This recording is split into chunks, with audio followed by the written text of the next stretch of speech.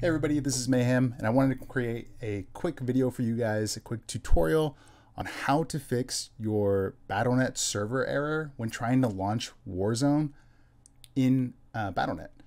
I have seen this error, and I've actually been dealing with this error, and I had a workaround for this error. Um, my reasoning behind it is when they launched globally the anti-cheat and had the update, it ruined a lot of the firewall blockers for Warzone. Uh, you give Warzone access with Defender Firewall and enable the access for public use in order to play online. But I think something happened there where it ruined the game and the launching settings on Battle.net and also when in the game. Um, so I'm going to show you guys a workaround. I actually found this video on YouTube itself initially from somebody else that I'm going to link down below and I'll have his name down below as well so you guys can check out the original video.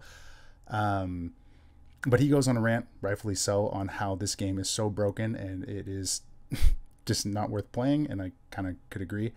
Um, but let me go ahead and show you the workaround that I initially found and that wasn't working for me. But I'm going to show you what he did in the video in order to make the fix and be able to launch the game in Battle.net with no hassles and no errors at all. All right, so as you guys probably know, when you hit play the game, it gives you an error that pops up right here and it tells you like BLNBZ. I mean, I'll pop it up on the screen so you guys can take a look at it. Um, but uh, this error is very, very tiresome. It always asks you to scan and repair, and that didn't work, and just threw you through this loop and loop and loop that you had to go through. Believe me, I've done so many things. I've uninstalled the game. I've done all these things to reinstall it, all these workarounds. And what I was doing that was working was going show and explorer, opening up my game file, and launching the game through this route through the launcher and giving my, my launcher admin access and it would work. But it would only work at times and at some moments it would still give me quick game error full screen and it wouldn't allow me to play the game. But the workaround is now here and here was what you guys have to do. So here is the workaround. On your search bar, go ahead and type this PC, hit enter, take you to your PC files and you want to open up the files for where your game is installed. So mine's installed in my Windows C drive on my SSD. And you can hear, see here, I have a, a file named Warzone Fixed. What you're gonna wanna do is create a new file for you guys because you probably have it either in program files like I did initially or whatever folder you have it in.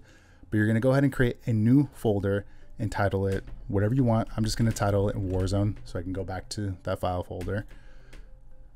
And then you're gonna go into where the game is actually installed. So mine is installed in Warzone Fixed what I'm going to do is right click on Call of Duty Modern Warfare and hit cut. Then I'm going to go back into the new file folder that I created. You're going to open it up and hit paste. Once you do that, double check to make sure that this is no longer in there. And what you can do is delete the old file folder where the game was installed in.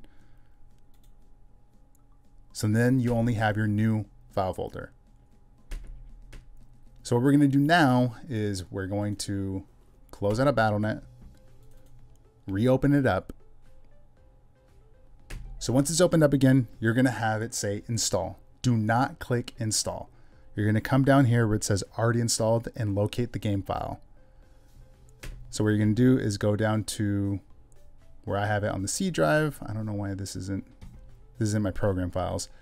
So you're going to want to locate the file itself. So mine is in my C drive under Warzone, and you're going to just click once on Call of Duty Modern Warfare and make sure it's the folder that's selected, and you're going to select the folder. Once that happens, it's going to initialize it, and then it'll be set, ready to go. And then you're going to hit play game. And this is the most important part. Once you hit play game, there's going to be a, a defender firewall pop up, and you're going to have to allow Warzone access for the firewall.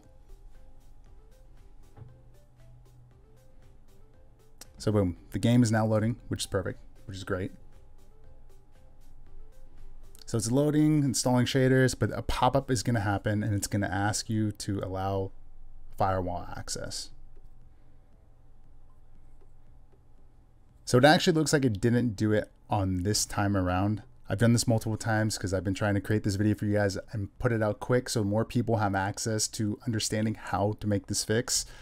Um, but in this beginning home screen, there is going to be a Windows notification that does pop up to allow access, public access for the Defender firewall for Warzone, and you're going to want to hit allow. Um, that's going to help a lot and finalize everything so you can start loading this game and launching this game through BattleNet and not having to do this workaround or have those server errors at all. Um, so I hope this guys. So I hope this helped, guys.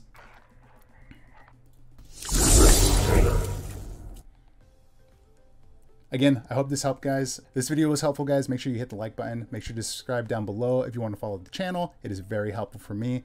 And you guys can get access to scary games that I play, also just Call of Duty gameplay and Splitgate or Halo, and also any new games that we do as well. And be part of the community and join if you guys would like to. It does help me out a lot.